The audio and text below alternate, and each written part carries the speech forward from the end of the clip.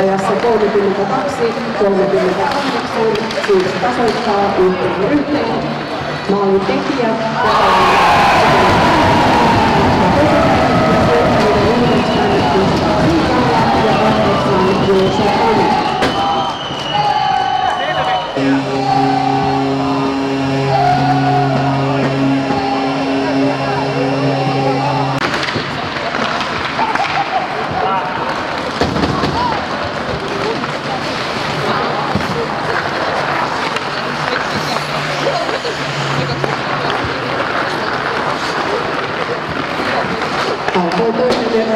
للبني ملوك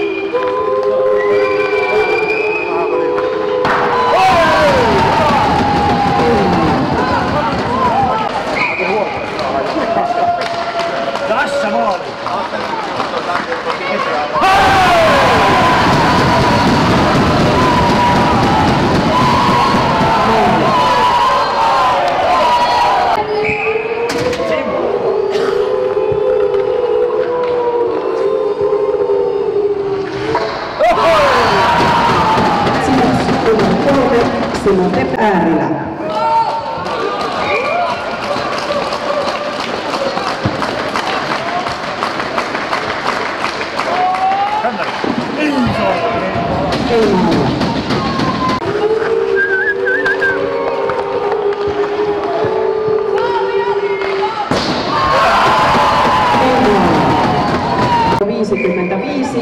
Jesse Lehtonen.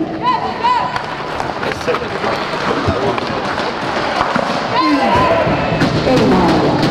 18 Matias Müller.